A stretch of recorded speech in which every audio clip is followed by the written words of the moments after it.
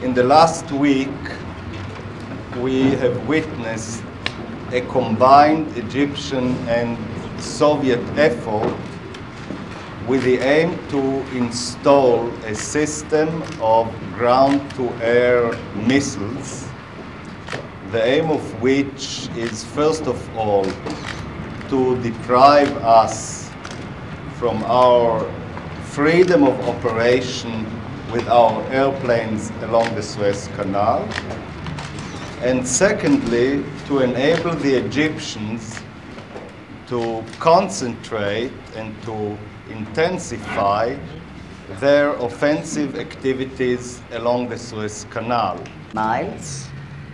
Now, as far as the SAM three missiles are concerned, to the best of our knowledge, they are manned by Soviet personnel.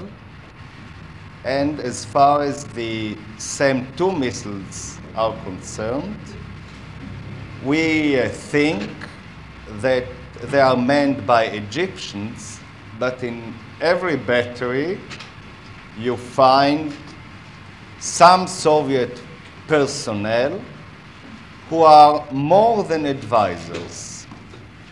And the whole system, in the whole system, we clearly feel the Russian hand in the field of planning and in the field of directing and operating the whole uh, concentration of batteries.